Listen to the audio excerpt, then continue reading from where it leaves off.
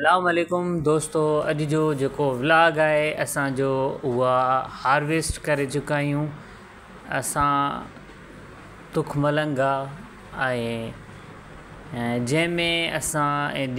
इन सीड के प्रिज़र्व कर लाइ अॼु को भी मशीनरीज़ को अॼु हिन मशीन असां जेका आहे हथ जे हथरादूए करे सीड्स के जेका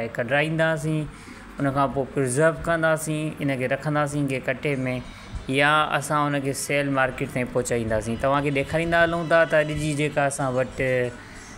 तव्हांजे साम्हूं ई आहे जेको तव्हांजे मां साम्हूं ॾेखारे रहियो आहियां जेको प्रोसीजर आहे उहो डिटेल तव्हांजे साम्हूं आहे असां ॿ मज़ूर कया आहिनि मज़ूर इनखे सही तरीक़े सां जेका आहे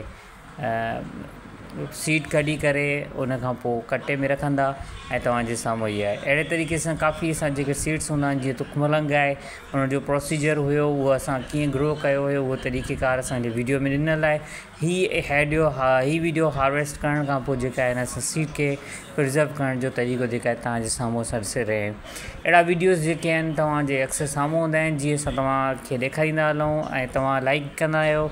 शेयर कंदा आहियो वीडियोस खे यूट्यूब ते जीअं तव्हां तव्हांखे काफ़ी नॉलेज मिली सघे